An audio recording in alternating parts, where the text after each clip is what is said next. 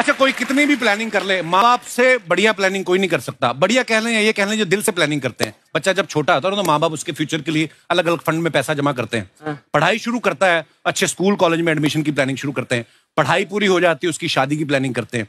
शादी फिक्स होते हैं उसके लिए घर के ऊपर दूसरी तीसरी मंजिल कमरे बनवा लेते हैं। अच्छा बाप बच्चों के लिए घर बड़ा करने की प्लानिंग कर रहा होता है। लेकिन उसी समय बच्चे अपनी प्लानिंग बता देते हैं कि पापा मैंने और अंजलि ने फैसला किया कि हम लोग यूएस जाके सेटल हो जाएँगे। उस समय बाप के गले का जो कौआ होता है ना ऊपर नीचे होता है। कि है? क्योंकि बाप ने जो बहुत मेहनत करके घर बनाया होता है कि यहाँ पे मेरा बेटा मेरी बहू मेरे पोते पोतियाँ खेलेंगे वो घर फिर सुना हो जाता है क्योंकि बच्चे विदेश चले जाते हैं। उस खाली घर को आप कभी दूर से देखना। ऐसा लग रहा होता है जैसे छज्जा यूँ करके देख रहा है कि मेरे बच्चे कब आएँगे। ऐसा भी होता है। सो इसलिए तो पिता के घर पे एक बात याद आई। कि पिता का घर कभी जर्जर नहीं होता। खूबसूरत उससे कोई मंजर नहीं होता। बसते हैं जहाँ सपने बचपन के उससे पावन कोई मंदिर नहीं होता। वाह।